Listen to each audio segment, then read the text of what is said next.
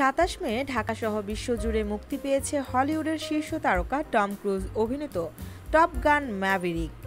ছত্রিশ বছর আগে একই ছবিতে অভিনয় করেছিলেন এই অভিনেতা।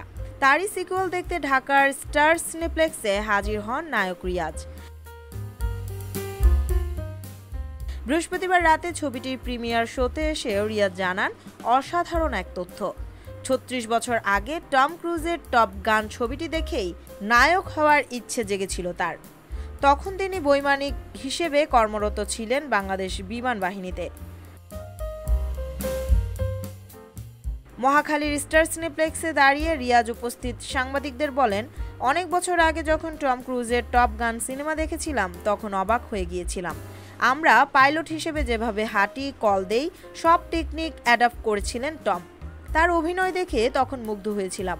মনে হয়েছিল অভিনয় পেশা তো পাইলটের চেয়েও মজার। সত্যি কথা বলতে, টম ক্রুজের সেই সিনেমা দেখে অভিনয়ে আসার ইচ্ছাও জাগে তখন।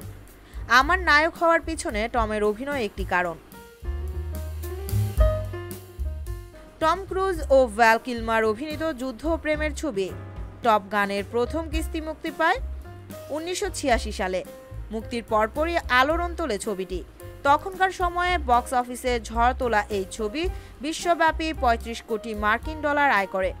প্যারামাউন্ট পিকচার্সের ব্যানারে নির্মিত এই ছবির মাধ্যমে সারা বিশ্বে জনপ্রিয়তা পান টম ক্রুজ। ছত্রিশ বছর পর মুক্তি পেল তারই সিকুয়েল টপ গান ম্যাভেরিক। পরিচালনা করেছেন জোসেফ কোসিনস্কি। অভিনয়ের সঙ্গে ছবিটি প্রযোজনাও করেছেন টম। প্রথম কিস্তির প্রযোজক জেরি ব্র্যাক হেইমারও আছেন সঙ্গে।